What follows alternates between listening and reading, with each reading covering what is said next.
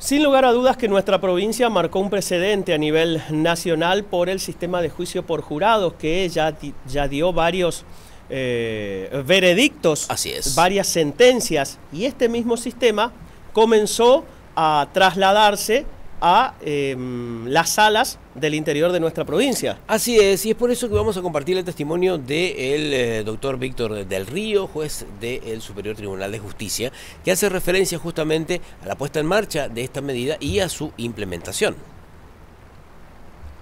Del Superior Tribunal de Justicia, como política estatal del Superior Tribunal de Justicia, que ha significado que se haya podido lograr los consensos necesarios y también los, eh, las decisiones institucionales para poner en marcha este sistema, la verdad estamos muy felices, estamos en 27 juicios por jurado realizados en la provincia,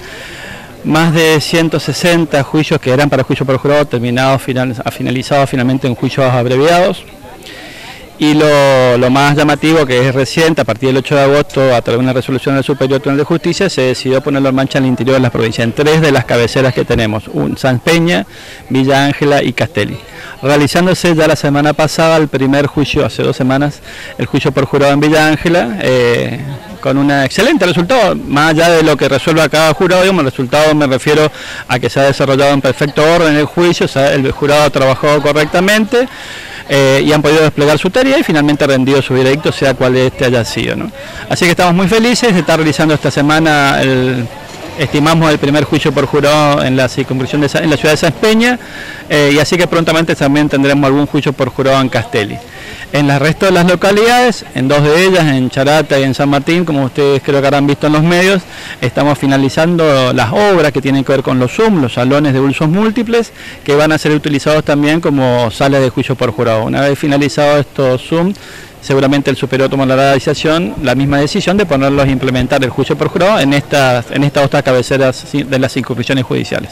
Además de democratizar de alguna manera eh, el poder de la justicia, también se ha logrado descongestionar, digamos, los procesos judiciales, teniendo en cuenta, bueno, que era también un pedido de la comunidad. A ver, yo esto siempre lo aclaro porque quizás si no puede confundir. Los procesos penales en la provincia del Chaco en los parámetros generales, digamos, siempre habrá alguna causa en particular que pueda tener una demora, dada la complejidad, las vicisitudes propias que puedan tener los expedientes, pero en general la justicia del Chaco muestra estándares de rapidez ya en las sucesivas reformas que, reformas que fue haciendo el sistema procesal. Incluso hay una que se está debatiendo que pretende incluso aportarle mayor rapidez. Aquí no estamos hablando solamente de rapidez, estamos hablando de legitimación de las decisiones a través de un trabajo en conjunto. Jueces técnicos y jurados populares para,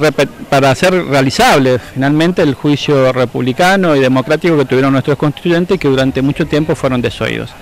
Nosotros estamos, además de todos estos fundamentos constitucionales y legales, estamos, eh, seguramente vamos a tener los resultados muy pronto, de hecho van a, se están realizando algunos estudios con universidades extranjeras y solamente con eh, grupos de estudios nacionales. Eh, el alto estándar que retienen nuestros juicios por jurado y también lo que se valora es mucho cómo decidiría un juez el juez que llevó el juicio con el jurado. En general, seguramente vamos a tener los estudios, se va a repetir lo que hay en otras partes del mundo, que coinciden en mayor parte los jurados populares con los jueces técnicos. Y las pocas disidencias que hay en números de porcentajes muy menores tienen que ver con que el jurado popular tiene un estándar mucho más alto de la duda razonable que los jueces técnicos. O sea, realmente el jurado popular, si no hay pruebas que lo convenzan, no terminan con, eh, declarando el veredicto de culpabilidad, sino que el Estado tiene que presentarle pruebas de calidad. Esto sí te tenido diciendo, hoy tenemos juicios de mucho mejor calidad que antes. El juicio por jurado vino a exigir un trabajo muy dedicado de cada una de las partes, ya no del juez, de las partes que le tienen a acreditar información de calidad, traer pruebas de calidad de ese juicio para poder convencerlo. Y yo creo que finalmente, para, si bien hablamos de legitimidad para el pueblo y todo esto, finalmente para internamente, para el Poder Judicial, para el Servicio de Justicia, está demostrando cómo tener juicios más justos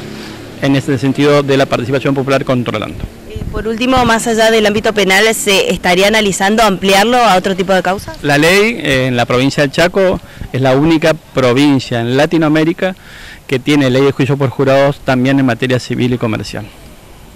Esta ley ya fue sancionada hace un tiempo, estamos seguramente una vez que podamos implementar en toda la provincia, por lo menos desde el deseo como política estatal del Poder Judicial, implementar el juicio por jurado penal, una vez consolidado este, seguramente deberíamos avanzar sobre lo que la ley está exigiendo y bueno, contar con los elementos presupuestarios y demás para poder poner en marcha el juicio por jurado civil.